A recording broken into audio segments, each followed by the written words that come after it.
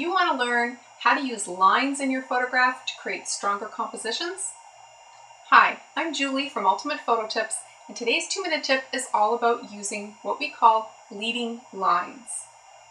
So, the first thing you need to know is that the human brain is hardwired so that our eyes follow lines in whatever we look at. You're doing it subconsciously, you don't even know it's happening, but your eyes are always following lines. As a photographer, you can use that to your advantage because you know that when someone's looking at your photograph, their eyes are following the lines.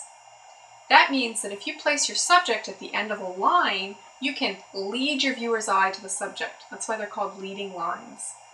So if you have a winding road or a curved plant stem, you know that your viewer's eye is going to track probably slowly throughout the whole image. If you want higher impact, place your subject at the end of a straight line and your viewer's eye will go directly to it. On the flip side, make sure that you don't have any lines that don't lead anywhere, because your viewer will be disappointed if they get to the end of a line and there's it's a bit of a letdown, there's nothing there. You also want to avoid having a line that leads straight out of the frame. Your viewer's eye is going to follow it and be straight out of the frame and not looking at your photograph anymore. So use lines very strategically in your images to get your viewer to look wherever you want them to.